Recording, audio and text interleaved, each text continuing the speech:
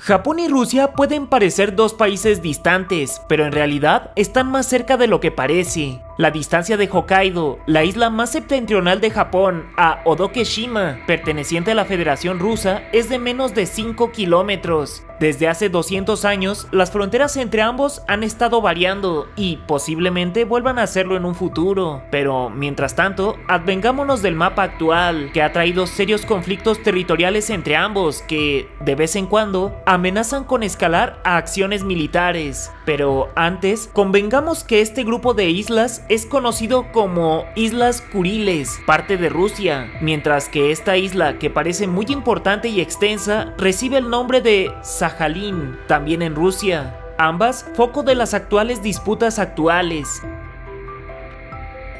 Las islas desde la antigüedad no eran de ninguno de los dos, sino de China, de hecho, una frontera de piedra china de alrededor del año 1600 todavía existe en la isla Sajalín. Con el tiempo empezaron a llegar pescadores rusos y japoneses, atraídos por las fértiles y abundantes aguas, por lo que los tres empezaron a disputarse la soberanía del lugar. Todavía en 1686, Rusia firmó con China el Tratado de Nerchinsk, reconociendo que China era la única y auténtica dueña de Sajalín, cosa que en la práctica poco le importó tanto a Japón como a Rusia, quienes siguieron enviando barcos pesqueros a la zona. Las cosas llegaron al extremo de que pescadores japoneses arrestaban a los pescadores rusos y viceversa, pues según ellos se trataba de invasores, haciendo latente que debía trazarse una frontera entre ambos países. Así, ambos firmaron el Tratado de Shimoda en 1855, donde se aclara que ambos podían habitar la isla en paz, con preferencia para Rusia en el norte y Japón en el sur, mientras que China fue ignorada. ¿Por qué? Pues porque sí, de todas formas, tras la guerra del opio, China renunció a la isla y a otros territorios. Por otro lado, Rusia colonizó las islas Kuriles, excepto estas cuatro, que ya eran de Japón.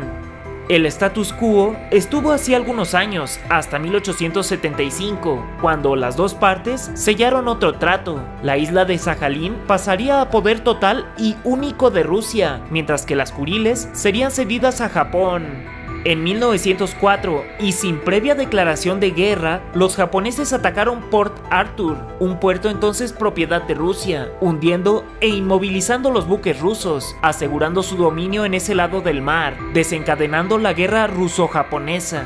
Los japoneses demostraron sus avances y poder militar en cada batalla y finalmente triunfaron, siendo la primera vez que una nación no caucásica vencía a una potencia europea, conmocionando al mundo y colocando a Japón en el mapa internacional,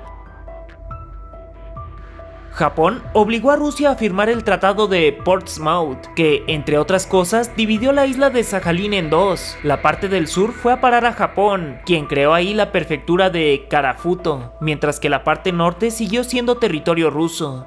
La humillante derrota contra Japón, un pueblo considerado inferior, fue la gota que derramó el vaso del pueblo ruso, quienes se levantaron contra el imperio y lograron derrocarlo, propiciando la creación de lo que después sería la Unión Soviética.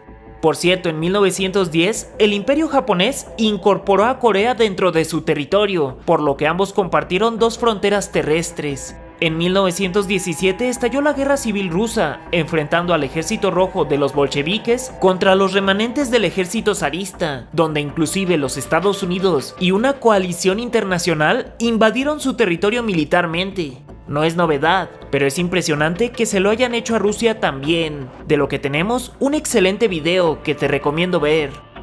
En fin, con todo el ajetreo político, Japón aprovechó para invadir la parte rusa de Sajalín, tomando control de ella desde 1920 a 1925. En 1925, los ya para entonces soviéticos desembarcaron en la isla y tomaron el control de lo que les pertenecía, la parte norte de Sajalín. Durante la Segunda Guerra Mundial, a la Unión Soviética se le prometió que, de unirse a los aliados y luchar contra Japón, serían suyas las islas Kuriles y Sajalín. En 1945 los soviéticos cruzaron la frontera de Sajalín y tomaron la totalidad de la isla. Al mismo tiempo, parte de su flota invadió todas las islas Kuriles, tomándolas desde entonces. El 8 de septiembre de 1951, ya terminada la Segunda Guerra Mundial, se firmó el Tratado de Paz con Japón, en el que participaron 48 naciones, entre ellas México, con lo que tanto la isla de Sajalín como las Islas Kuriles fueron anexadas a la Unión Soviética tal cual se les prometió, siendo incluidas en el Oblast de Sajalín. A Japón no le fue tan mal, pues el plan de Stalin incluía también apoderarse de la isla de Hokkaido, pero Estados Unidos intervino para evitar que eso sucediera. Desde el fin de la Segunda Guerra Mundial, Japón nunca dejó de insistir en el retorno de todas las islas. Su insistencia fue tal que en 1956 ambas partes rompieron relaciones. Afortunadamente esta situación solo duró algunos meses, pues en septiembre de ese año los dos firmaron la Declaración Conjunta de Paz, que además de restablecer las relaciones, la URSS renunció a su compensación de guerra, apoyó a Japón a ingresar a la ONU y reconocieron que había una disputa territorial a resolver en tratados posteriores. Incluso los soviéticos propusieron retornar un par de islas a Japón a cambio de que ese país abandonara su alianza con los Estados Unidos, cosa que no ocurrió. En 1964 hicieron la misma propuesta, a cambio esta vez de que los Estados Unidos abandonaran su base militar en Okinawa, algo que tampoco ocurrió. En 1991, Japón hizo una oferta para comprarle Sajalín a Rusia por nada menos que 28 mil millones de dólares, pero la respuesta fue no, ya que la isla era estratégica al poseer grandes cantidades de recursos naturales, entre ellas gas, mientras que las Kuriles dan acceso al Océano Pacífico a la flota rusa, donde había una flota de submarinos muy importante. Incluso cuatro de las islas Kuriles, que según Japón nunca fueron ni soviéticas ni rusas, siguen apareciendo en los mapas japoneses como zonas en disputa, de las que Rusia no sabe nada. La postura japonesa busca anular los tratados o no reconocerlos para seguir reclamando la soberanía de las Kuriles, mientras que Rusia defiende que las ganó honestamente en un conflicto en el que triunfó y que fue confirmado después por las Naciones Unidas y el mismo Japón, por lo que no hay discusión al respecto. Desde que inició el milenio, ambas partes han protagonizado diversos episodios de tensión militar en la zona, con el envío de buques de guerra armados y la instalación de sistemas antimisiles, sin que hasta ahora haya pasado nada, afortunadamente. No obstante, es un foco de tensión constante entre ambos países y una mecha que puede ser encendida en cualquier momento para calentar toda Asia Oriental.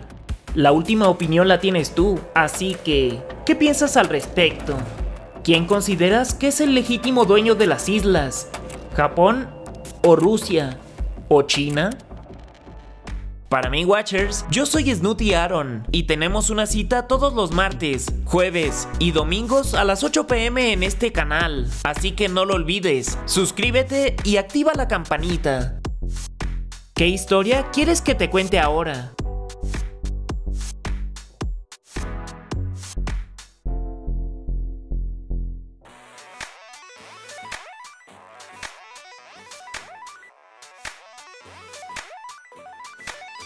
Hasta la próxima.